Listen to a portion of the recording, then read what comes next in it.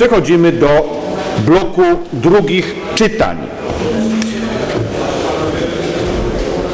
Zmiany w budżecie miasta Krakowa na rok 2013 dotyczące zwiększenia planu dochodów w działach 600, 854, zwiększenia planu wydatków w działach 854 i 900, zmian w planie dochodów w dziale 801 oraz zmian w planie wydatków w działach 600, 854, 900 i 921. Projekt prezydenta miasta Krakowa, druk nr 1469, drugie czytanie, referuje pani dyrektor Małgorzata Okarmus.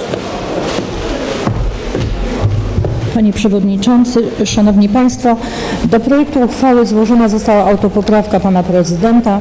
Ona dodatkowo zawiera zwiększenie y, planu wydatków bieżących na y, transport zbiorowy o kwotę 1 980 454 zł. Jest to y, poprzez zmniejszenie planu wydatków inwestycyjnych o taką samą kwotę. Dziękuję.